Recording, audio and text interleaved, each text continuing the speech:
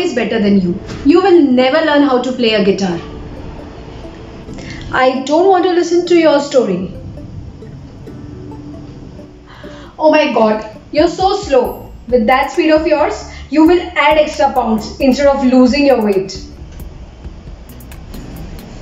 Looks like this is the same idea which I gave you last month because I'm sure you're not competent enough to give such a creative idea. So what? If I give you the data, it's your work. You should cross check at your end. I am not responsible for this error.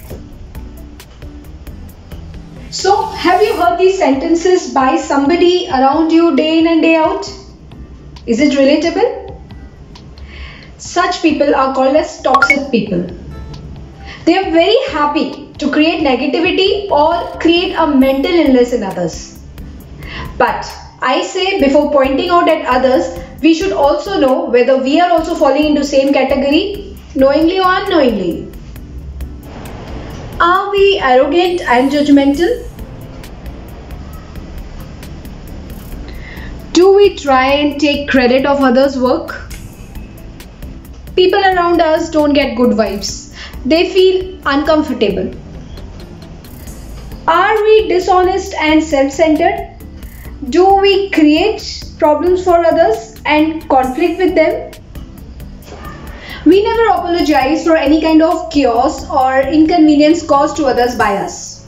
In fact, we create so much of drama and mental pressure that we prove ourselves as victim of others' behavior rather than other way around.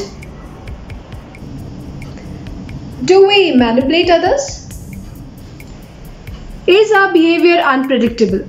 One day we are very goody goody and the very next day we find fault in the same thing. We always try to find the weaknesses of others.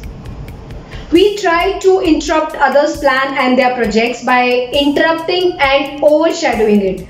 For example, if somebody set any goals for themselves, we demotivate them Guys, if we have 50% also of all these traits, it's an alarm. It's a red signal for us to improve.